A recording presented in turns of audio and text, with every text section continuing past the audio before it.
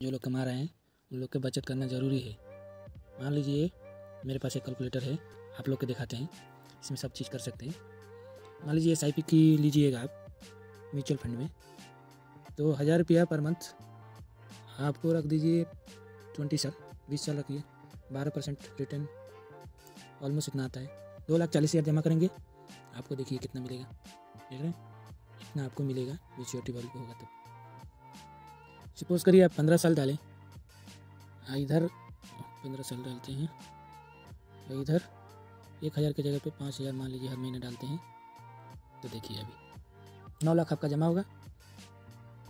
सोलह लाख बाईस हज़ार आठ सौ उनहत्तर रुपये गेन करेगा। टोटल हो जाएगा पच्चीस लाख बाईस हज़ार आठ सौ उनहत्तर। आपको देखिए कितना मिल रहा है ये पंद्रह साल में। तो आप लोग को बचत करना ज़रूरी है। हर आदमी को बचत करना चाहिए। समझ गए? मान लीजिए बारह परसेंट तो ऑलमोस्ट देता ही है। यही अगर पंद्रह परसेंट दे दिए तो यही बदल जाएगा इधर। आपका जो पैसा इन्वेस्ट होगा, उतना ही होगा। तैंतीस लाख चौरासी हज़ार तीन सौ पंद्रह रुपया हो जाएगा। समझ गए दोस्त? तो सब लोग बचत कीजिए।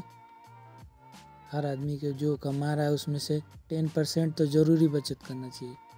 टेन तो लाजिम है। अगर उससे ज़्यादा करते हैं तो और बेटर है। समझ गए? थैंक